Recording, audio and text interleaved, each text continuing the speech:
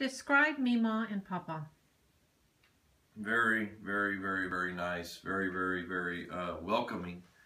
Um, you know, I've learned a lot off Mema and Papa. I'm thankful that uh, I, am still able to say I have both my grandparents. Uh, it uh, they taught us quite a bit. You know, I mean, you know, kind of uh, they're always real like reserved. You know, I mean, but funny at the same time. You know, I mean, it's it's kind of hard to explain. You know, but you know, they joke. I like how Papa and Mema they joke around. Yeah. And, It's about of like, getting on uh, Papa sometimes, you know, like in a jokingly manner. it's like loving, caring, Yeah. sharing, definitely you know, good hospitality, patriots, very, very, very patriotic, very religious. very religious, uh, um, very strong work ethics. Because even they're even volunteering at the hospital to stay busy. You know what I mean? And then, you know, a lot of people, you know, even younger than us, don't even want to work, much less do that and they're and they're gonna work. and they're gonna say what they feel.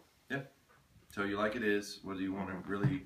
But you know, it's like when Mema would kind of tell me like it is. You know, when I was going through my things, uh, when they're into divorce and stuff like that, it's stuff that I really needed to hear. But it was like, you know, it sting a little bit when Mema would tell you. But she always had this way of telling you where it's like, you know, man, I can't be mad because it's true. You know, it's Mm-hmm. something I do need to fix. You know, or work on or whatever. You know, plan of action. So that's that's definitely.